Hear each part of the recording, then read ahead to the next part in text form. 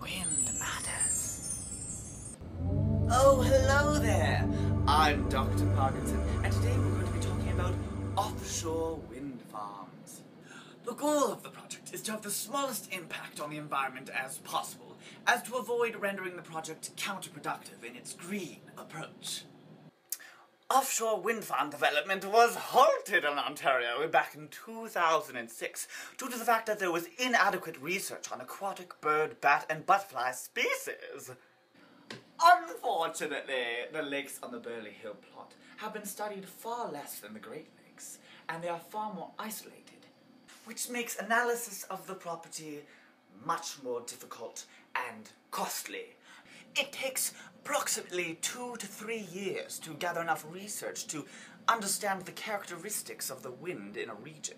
That includes direction, strength, etc., etc.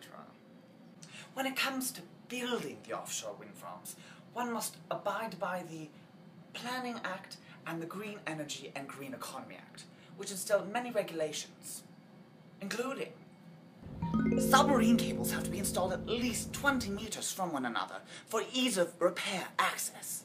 The turbines themselves have to be at least 550 meters away from a sound receptor. Thank you all for joining us today on our program. I now send you to Patricia, who will be talking about the environmental impacts of offshore wind farms. Wind matters. Hi, welcome to Wind Matters. This is gonna be our submarine cable for the demonstration today. We're gonna have to use a high voltage, high capacity cable for offshore to make it more efficient and worthwhile investment. This cable is gonna be about $200 a meter, which is quite expensive and doesn't include things like physical labor or special installation devices or even offshore transformers.